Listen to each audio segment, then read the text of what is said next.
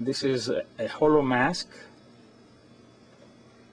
which appears to be moving as I move the camera but here is the real stimulus.